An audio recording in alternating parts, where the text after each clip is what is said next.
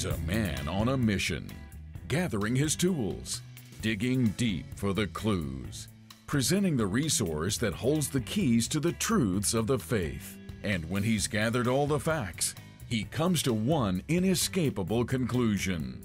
Curious Catholics know that the solution is simple. Grab your catechism. The case of the curious Catholic is solved each week on Grab Your Catechism with Father Charles Connor, Sunday at 4 p.m. Eastern on EWTN.